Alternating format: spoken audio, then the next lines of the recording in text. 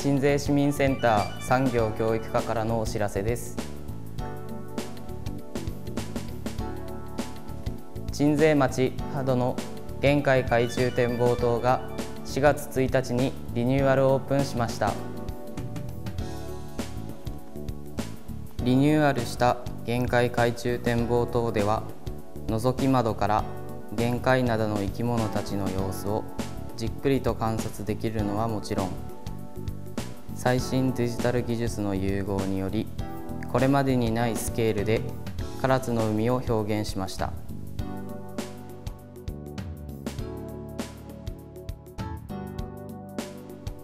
展望塔内部に玄界灘の生き物をプロジェクションマッピングで投影し360度をスクリーンとして海の中にいるような気分を味わえます。特徴は中央の螺旋階段。全面ミラー張りにすることで周囲の映像が映り込みより幻想的な空間を演出します。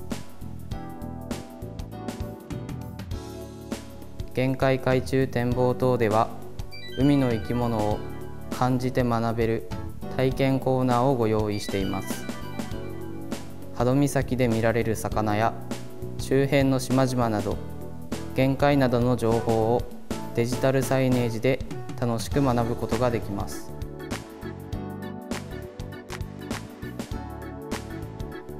入館料は一般1000円。小中学生は500円です。未就学時は無料となります。開館時間は4月から9月が午前9時から午後6時まで。10月から3月が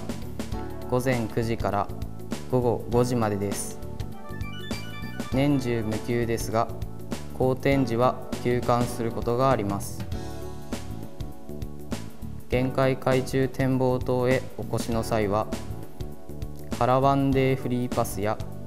カラツーデーフリーパスをぜひご利用ください。カラワンデーフリーパスは唐津市内と玄海町内の全路線バスが乗り放題になります。唐津デーフリーパスは高速バス唐津号と唐津市内玄海町内の全路線バスが乗り放題になります。玄海海中展望塔と合わせて唐津市内や周辺地域の観光をお楽しみください。玄海海中展望塔について詳しくは鎮西市民センター産業教育課電話